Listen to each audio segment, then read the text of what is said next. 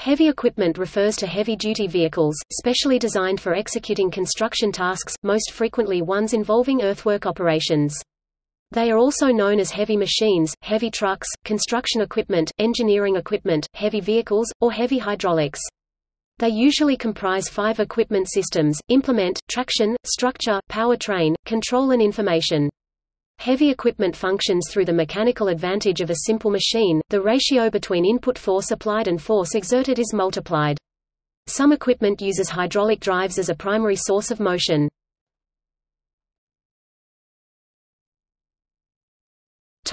History The use of heavy equipment has a long history. The ancient Roman engineer Vitruvius, 1st century BCE, gave descriptions of heavy equipment and cranes in ancient Rome in his Treatise de Architectura. The pile driver was invented around 1500. The first tunneling shield was patented by Marc Isambard Brunel in 1818.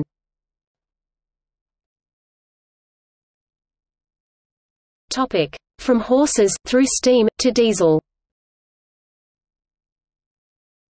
Until the 19th century and into the early 20th century heavy machines were drawn under human or animal power. With the advent of portable steam-powered engines the drawn machine precursors were reconfigured with the new engines, such as the combine harvester. The design of a core tractor evolved around the new steam power source into a new machine core traction engine, that can be configured as the steam tractor and the steamroller. During the 20th century, internal combustion engines became the major power source of heavy equipment. Kerosene and ethanol engines were used, but today diesel engines are dominant. Mechanical transmission was in many cases replaced by hydraulic machinery. The early 20th century also saw new electric-powered machines such as the forklift. Caterpillar Inc. is a present-day brand from these days, starting out as the Holt Manufacturing Company. The first mass-produced heavy machine was the Fordson tractor in 1917. The first commercial continuous track vehicle was the 1901 Lombard steam log hauler. The use of tracks became popular for tanks during World War I, and later for civilian machinery like the bulldozer. The largest engineering vehicles and mobile land machines are bucket wheel excavators, built since the 1920s. Until almost the 20th century, one simple tool constituted the primary earth-moving machine, the hand shovel, moved with animal and human-powered, sleds, barges, and wagons.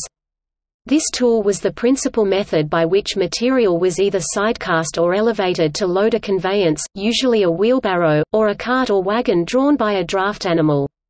In antiquity, an equivalent of the hand shovel or hoe and head basket—and masses of men—were used to move earth to build civil works.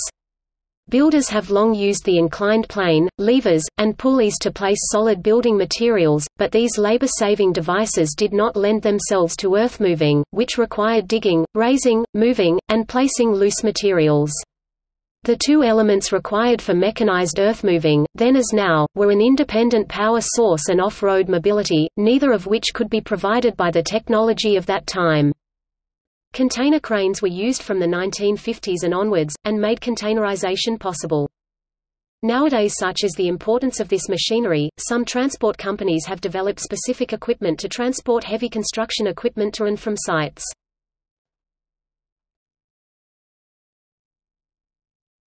Topic: Types.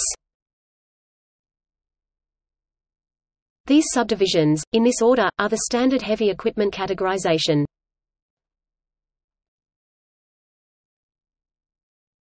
Topic: Images. Military engineering vehicles. Topic: Implements and hydromechanical work tools.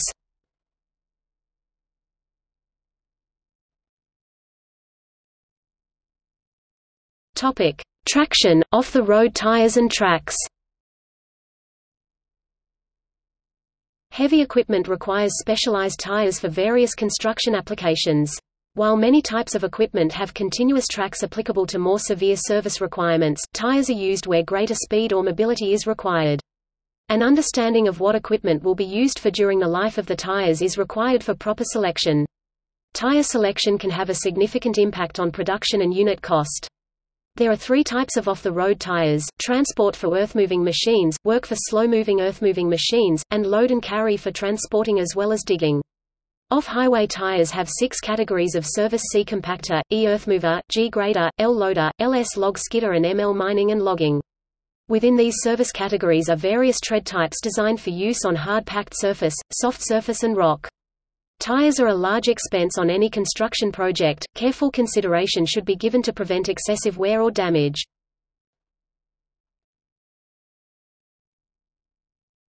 Topic: Powertrain.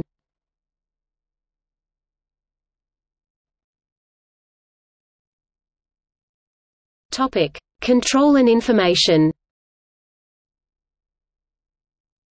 The control and information systems.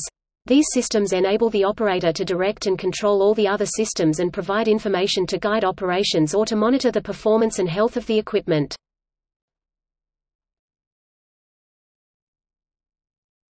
Topic: Heavy equipment operator. A heavy equipment operator drives and operates heavy equipment used in engineering and construction projects. Typically only skilled workers may operate heavy equipment, and there is specialized training for learning to use heavy equipment.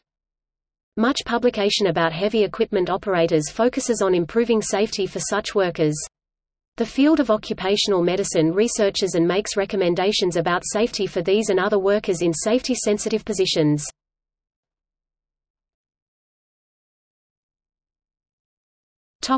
Equipment cost. Due to the small profit margins on construction projects it is important to maintain accurate records concerning equipment utilization, repairs and maintenance. The two main categories of equipment costs are ownership cost and operating cost.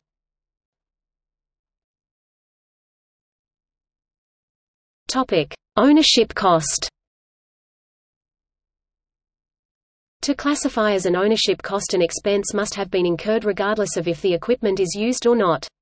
These costs are as follows Depreciation can be calculated several ways, the simplest is the straight-line method.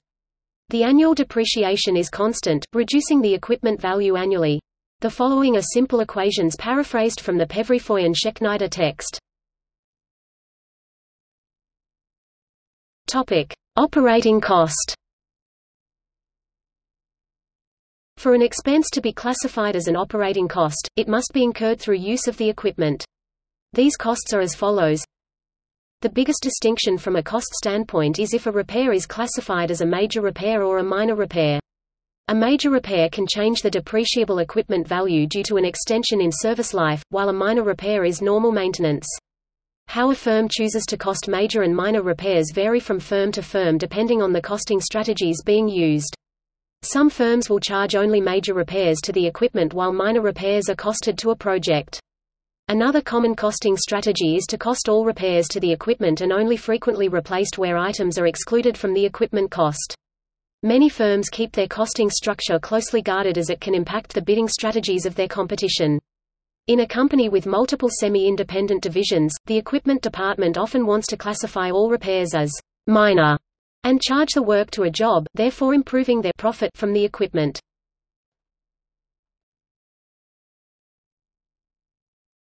Topic: Models. Die-cast metal promotional scale models of heavy equipment are often produced for each vehicle to give to prospective customers. These are typically in 150 scale. The popular manufacturers of these models are Conrad and NZG in Germany, even for U.S. vehicles.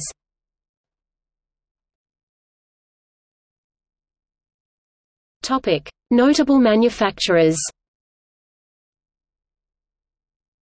The largest 10 construction equipment manufacturers in 2015 based on revenue data of top 50 manufacturers published by KHL Group. Other manufacturers include Topic. See also Construction equipment theft Non-road engine Associated Equipment Distributors, the trade association for heavy equipment distributors